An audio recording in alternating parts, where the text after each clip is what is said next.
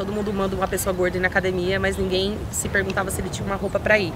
Então, eu vejo que o Brasil ainda tem muito preconceito, né? A gente, pessoas gordas são mais de 66% da população e a gente tem que implorar por roupa para vestir.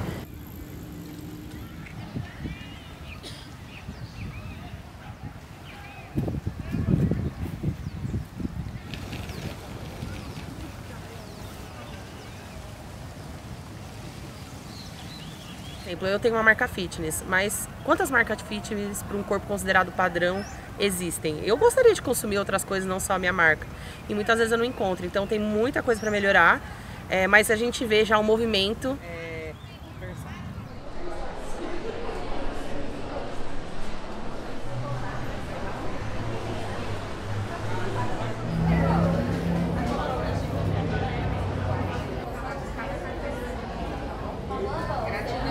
eu tenho dificuldade, eu uso 50, mas ainda acho uma coisa ou outra.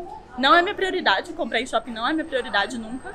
Mas dos 56, 58 para cima é quase impossível.